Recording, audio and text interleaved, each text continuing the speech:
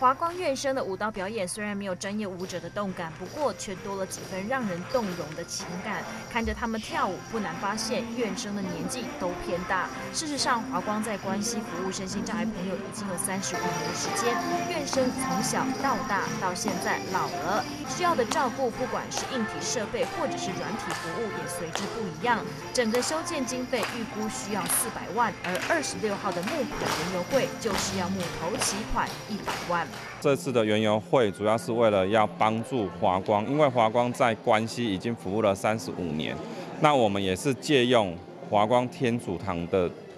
建物，哦，那因为已经二十几年的建物，它本身已经有一些修，已经老旧了，那我们需要来做一些修缮。那另外就是针对憨儿的部分，因为我们憨儿也已经老了，所以我们希望能够有一个比较适合他们居住的环境哦，所以我们在五月二十六号会办理一个。公益募款的园游会，那其实我们整个修缮的计划，我们是希望能够募集到四百万的修缮的经费。那园游会当天，我们是希望能够达到第一期的一百万。那目前我们整个原油券销售的部分，大概已经到了差不多二十二三十万，但是其实它的缺口还是蛮大的哈。